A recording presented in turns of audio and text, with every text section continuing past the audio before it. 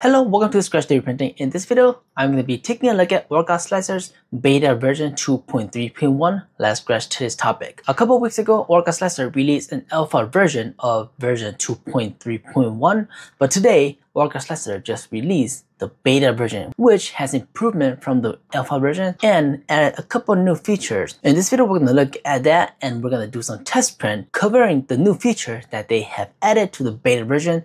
It's really cool. But enough of that, let's take a look at Orca Slicer and then let's take a look at what I have printed using the new feature. Version 2.3.1 beta, they added a new feature that allows users to insert extra solid infill. I don't know why, but I've been wanting to do this on 3D slicers for so long now. This has always been a feature that I wanted in my 3D slicers, but just don't know how to do it and I guess it's just not there. But now it's there and I'm gonna use it. I just love this. Some parts do need it to be solid and some part you just don't need that much infill in there. So you just want to quickly print it. Example five or five. Number one, insert one solid layer every five layers. Ah, there we go. So here you also has insert solid layer at layer 179. So you can specify where you want the solid layer to be at. They have a warning here, solid infill can take longer than the surrounding layers. We are in Orca Slicers right now. I am just gonna add a cube in here so that we can play around with this. Okay, so it looks like it's all the way down here. Insert solid layer. It's right here. It's not in the infill. It's in the events down here. Put that in there and see if anything changes. Ah, look at that. Look at that.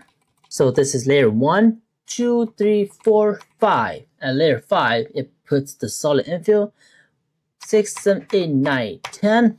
Another solid infill. So, so for every five layer, it puts a solid infill in there, which is amazing. And I think you can do this with any infill pattern that you want to. Yes, you can do this with any infill pattern. So we're gonna put 10 now. For every 10 layer, it's gonna have one solid line. But if you change this to 5, every 10 layer, it's going to put 5 solid layers. So here is 20, 1, 2, 3, 4, 5, all solid infill. And for the next one, it's going to be regular infill. Every 10 layer, it has this. Apparently, it does not really allow you to like choose where you want the infill to be. You have to be very specific. There's no like from layer 5 to layer 25 be solid infill. I want that to be honest. I actually want that option. It's kind of like that, but it's not really like what I wanted. Because after layer 18, there's no more infill. But if we look at here, layer 5, it has an infill. And then layer 9, it also has two solid infill. And after that, layer 18, there's no more solid infill.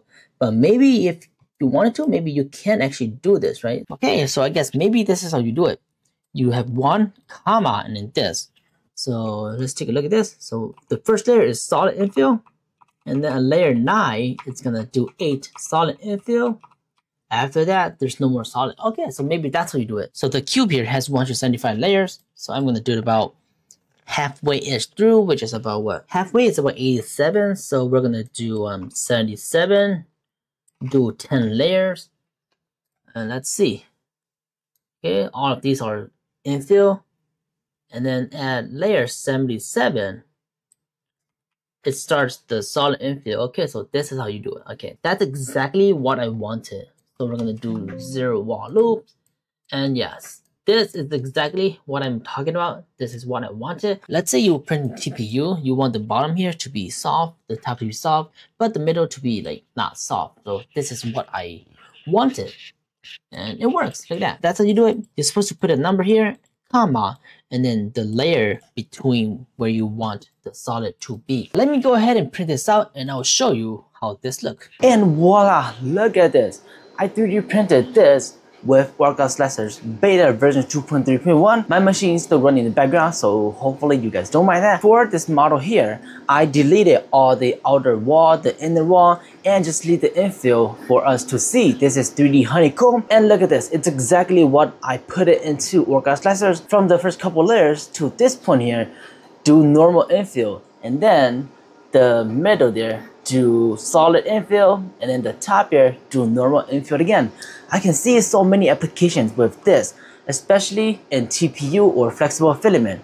This is PTG, so there's no flex at all. It's like super rough. But I feel like models like this or more creative models, something like this, is gonna go a long way with 3D printing now.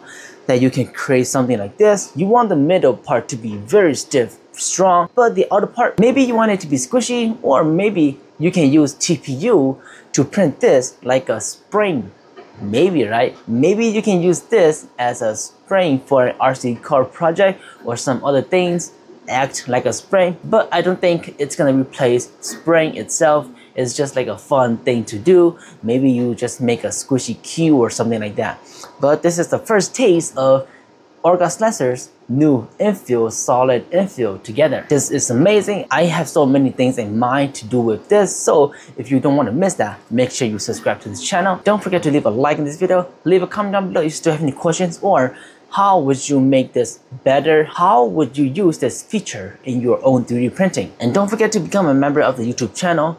And as always, keep on 3D printing.